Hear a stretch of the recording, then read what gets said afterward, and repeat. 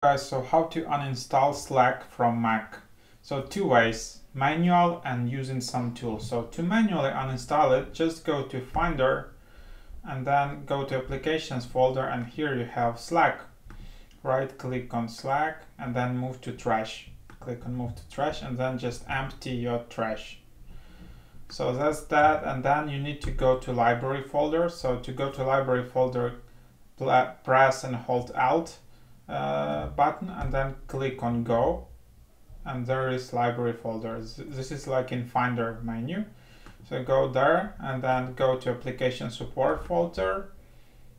And then here you can I think you need to search for something like slack just in case.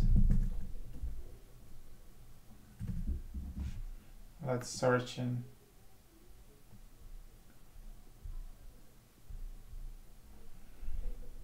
Okay, so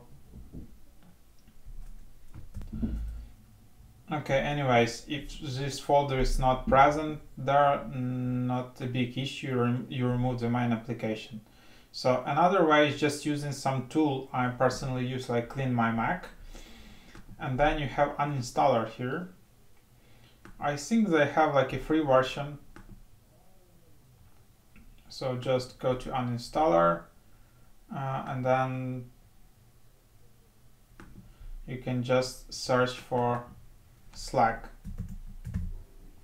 Here is Slack. Uh, you can just click here and uninstall. So as you can see, it doesn't only delete uh, the like the application, it also deletes all these preferences and supporting files. So that's basically I liked it because manually you will need to find all of it yourself and as you can see it was fine to hard to find this stuff in uh, application in library folder.